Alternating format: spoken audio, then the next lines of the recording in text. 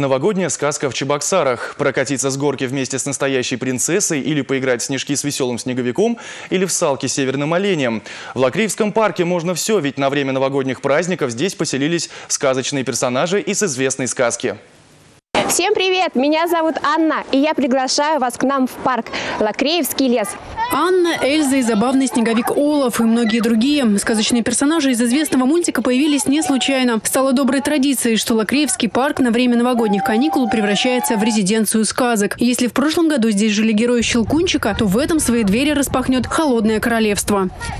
Герои отправятся на поиски разных новогодних традиций, которые они принесут в холодное королевство. То есть у нас будет в течение э, всего новогоднего сезона разные традиции разных стран, которые будут воплощаться на катке, на аллеях. И, конечно же, не обойдется наш проект без Дедушки Мороза, который принесет волшебную книгу, где будут записаны все эти новогодние традиции.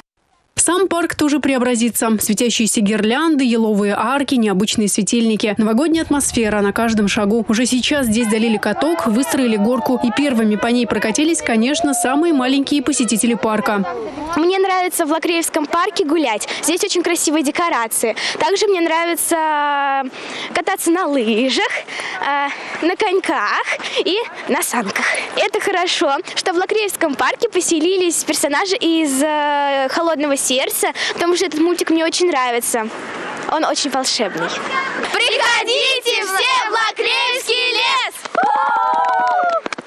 Я очень сегодня рада, что я сегодня здесь побывала с моим товарищем, другом по спорту.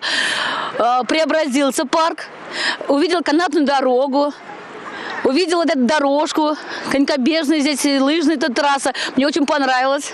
Очень сама заинтересована, чтобы дети у нас всегда дружили со спортом. Радует все прекрасно. И свежий воздух, вот такие, всякие фигуры много, всяких этих. Ну, и, картин много. Новогоднее сказочное путешествие начнется уже в эти выходные, 17 декабря. Галина Титарчук, Сергей Адушкин, Республика.